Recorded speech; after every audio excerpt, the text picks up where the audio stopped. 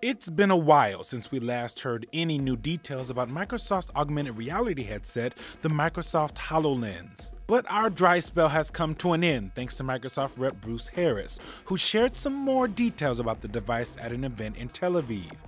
And let's just say our holographic future is looking a bit tethered for the time being.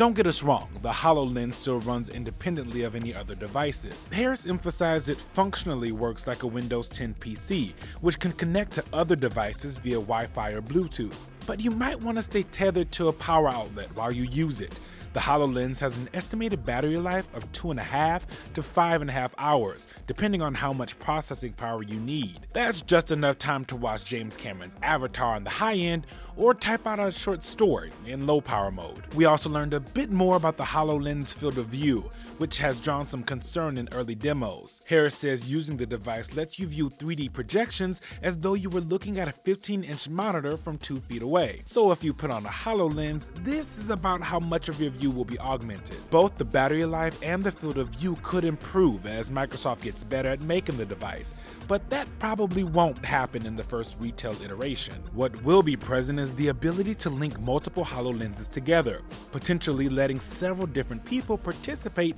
in the same augmented experience. Microsoft hasn't set a retail date for consumer versions of the HoloLens, but is selling development kits at $3,000 each. For Newsy, I'm Eugene Daniels.